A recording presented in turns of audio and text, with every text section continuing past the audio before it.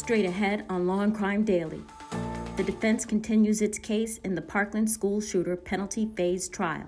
Was there anything in what you saw from the, his behavior that could have foretold this event happening of what happened at Marjory Stoneman Douglas? Not in my opinion. And cross examination gets heated when the defendant grills his ex wife on the stand. You did hold me down. You did tie me up. You did attack me. And you did break into my home when I was sleeping. You raped me. Plus, the death of Emily Noble. Was it suicide or murder? Do you see any plastic deformation in this image? Any of the deformation that I see to that nasal aperture is related to the antemortem trauma. And later, after fleeing the country and altering her physical appearance, defense attorneys worry Kaitlin Armstrong will not receive a fair trial. Law and Crime Daily covering court cases from coast to coast.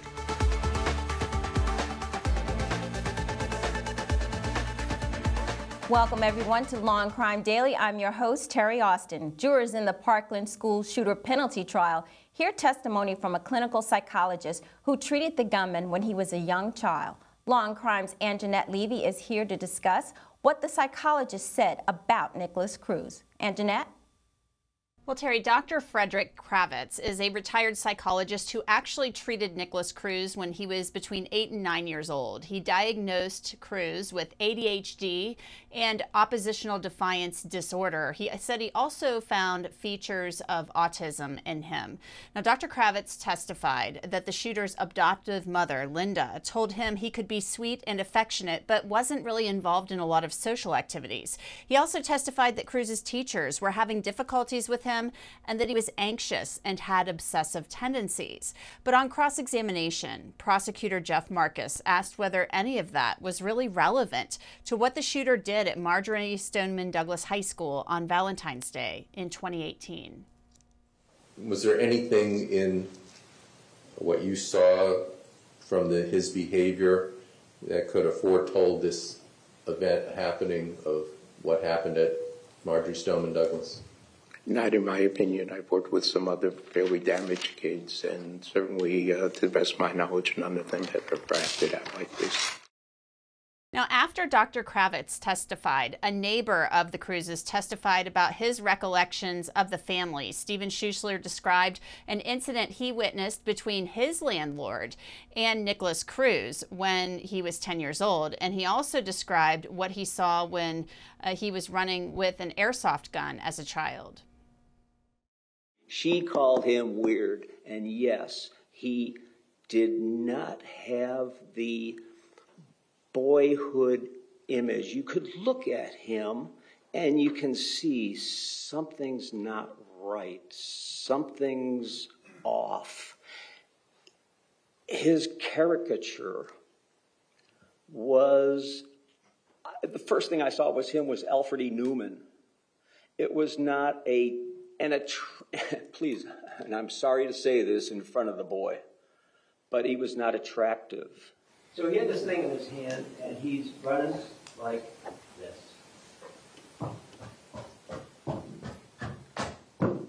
Like that. But he had this gun in his hand, and he just like that. Oh, oh, okay, I think that's sufficient. Is there anything else you want him to demonstrate? No, that's it. All right, so Stephen Schusler went on to say that he had met the shooter's mother, Linda Cruz, but conceded he really didn't know what was going on inside the home. Terri? Thanks, Angenette. Joining us today is criminal defense attorney Karen Felecia Nance and prosecutor Latonia Hines. Latonia, I'm going to start with you. The defense has called a number of witnesses, including this clinical psychologist who treated Cruz when he was a child. So people were actually aware of his psychological issues. Do you think this mass shooting could have been prevented based on the fact that so many people knew about this? I mean, this is the question we ask anytime this happens. Um, that there are all these different signs. And it's the question of whether or not everybody is talking with each other all at the same time to say, hey, we need to get him treatment. Now, we heard that there was some type of treatment going on with him. Would we have thought that he would have done this to this extent? I don't know. Um, but I think that there were telltale signs that this uh, individual definitely was very, very troubled, and maybe there needed to be some more um, treatment or some more inquiry about it. Okay, thank you for that. Karen, we know that the jury has to consider these mitigating circumstances in connection with the defendant's very difficult childhood. But how do you think the families in that audience are reacting to all of this testimony?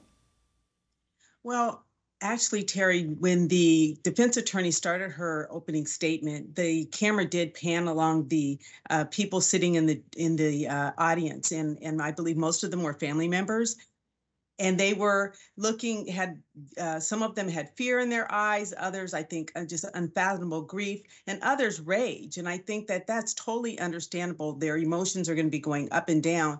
In addition they were spared the the uh, horror i will call it of having a, a regular trial for the guilt phase but now we're in the penalty phase so all those traumas that they suffered are just being brought back to them now. So i think that that's the saddest part about it is that they're going to have to sit through this and they're having having a difficult time of it, understandably. I could not agree more. No question about it. It's got to be very difficult sitting in that courtroom. Angenette, what else did this neighbor, Stephen Schuessler, have to say about what he witnessed during the six years he lived near the Cruzes? Well, he described uh, the shooter, who was a child then, uh, as somebody who just seemed like he needs some needed some mentoring. He then described how um, he and some other children were hanging out with a guy that he described as having a bit of savoir-faire, I guess, a, a little bit of swagger, if you will, and that they were smoking cigarettes and things like that. Now, these are all things that kids do as teenagers or, you know, young young kids. Not all, but some do. Um, so he was trying to say that, look, there was just something off with this kid the whole time and something more needed to be done. That was his impression. He wasn't inside the home, as you heard. Thanks, Angenette, for that additional information. Still ahead on Law and Crime Daily, Ohio versus Matthew Moore, the case of an alleged staged suicide that investigators say was actually a murder. But first, defendant Trevor Summers opts to represent himself while standing trial for the kidnapping and attempted murder of his ex-wife.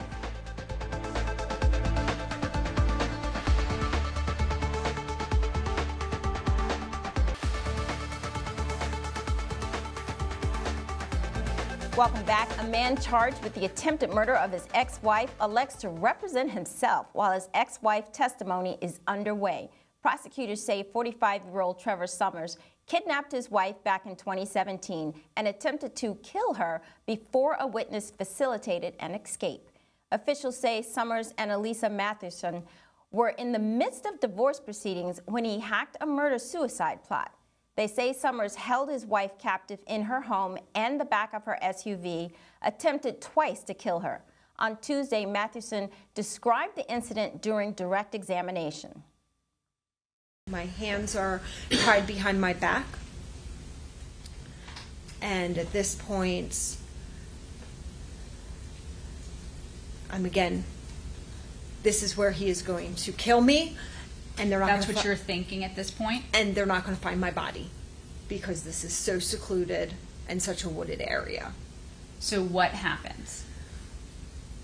So he turned me around and slit my wrist and said, That's for getting out of the car in the Walgreens. Pushed me back into the car, tied me back to the seat, buckled me back in with my hands still tied behind my back. On Wednesday, Summers once again elected to represent himself, arguing he should move forward with cross examination. Mr. Summers, you have a request of the court, sir? Yes, Your Honor. I What would- is it? I would like to um, resume self-representation and discharge Mr. Marchese as lead counsel. And you believe that to be a wise decision? Yes, Your Honor, I do. Are you unhappy with the services of Mr. Marchese? Uh, I'm not unhappy with the services of Mr. Marchese. I do not believe that he fully understands um, the circumstances surrounding the events, and it would be better if I did the cross-examinations um, from here on out. After that, Summers moved forward with the cross examination of the witness, his ex wife. Testimony got heated when Summers asked about a sexual encounter. Did I threaten you to have sex?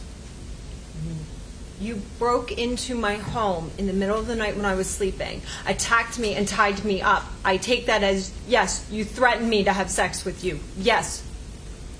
I'm asking you specifically, before we had sex, did I threaten you or force you to have sex with me? My answer is yes, you forced me to have sex with you. Did I hold you down? No. Did I push you? Not at that time of having sex, but prior to having sex, you did push me. You did hold me down. You did tie me up. You did attack me, and you did break into my home when I was sleeping.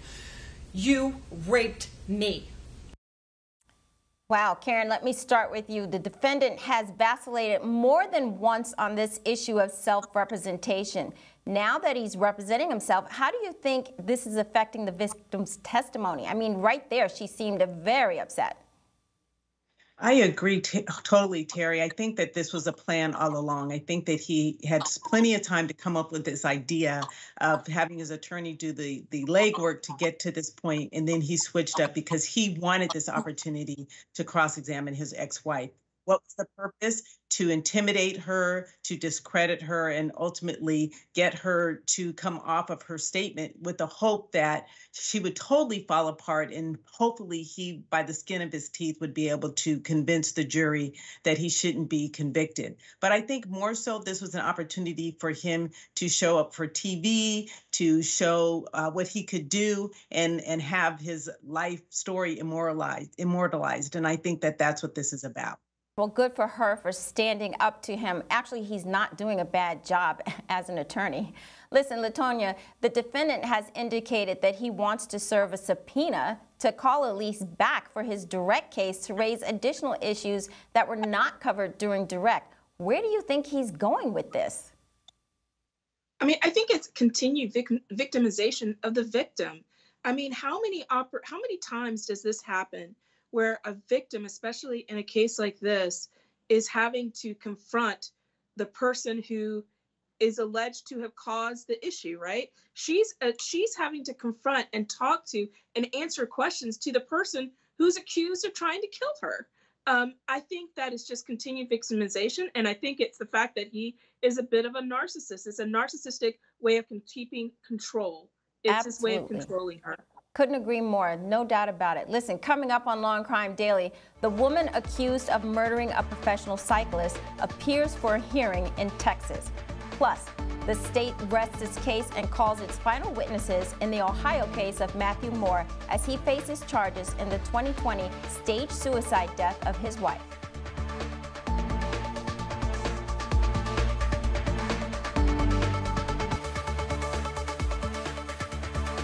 Welcome back. The state rests its case in the Ohio trial of Matthew Moore as he faces murder charges in the death of his wife, Emily Noble.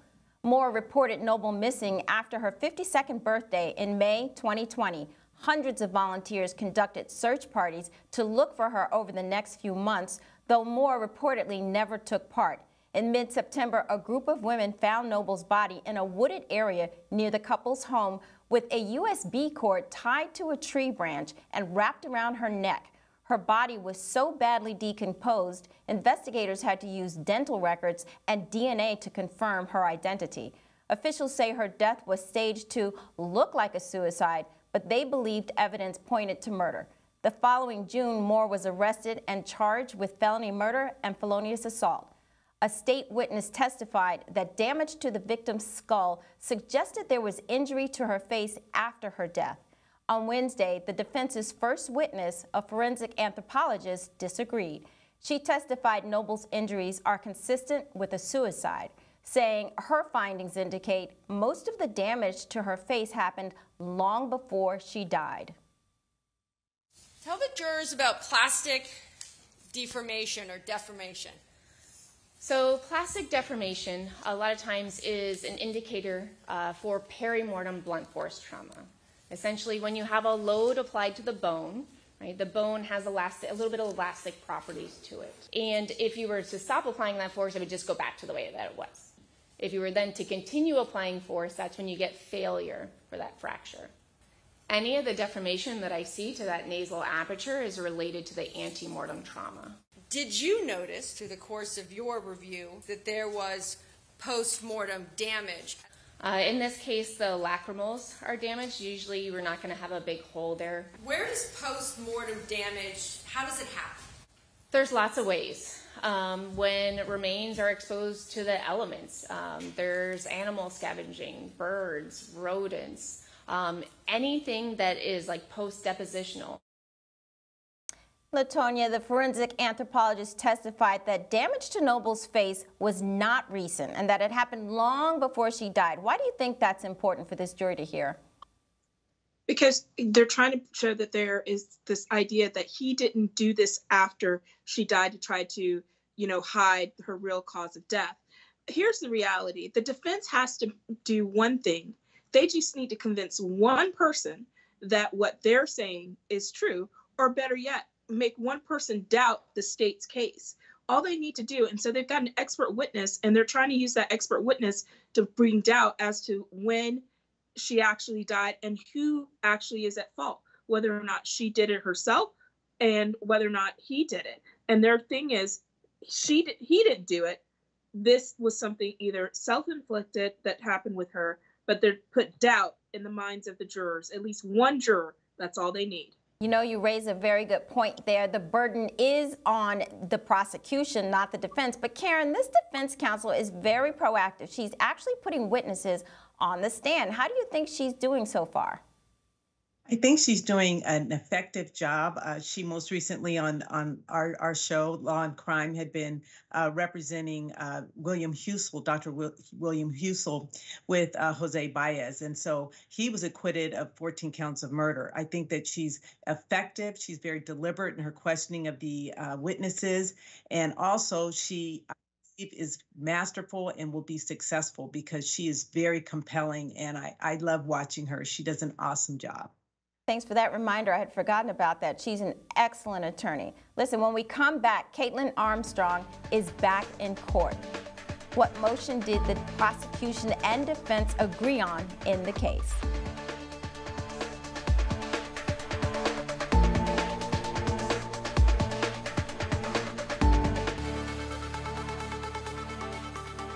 Welcome back. The woman accused of murdering a professional cyclist, fleeing the country, and altering her appearance to evade law enforcement appears for a hearing in Texas.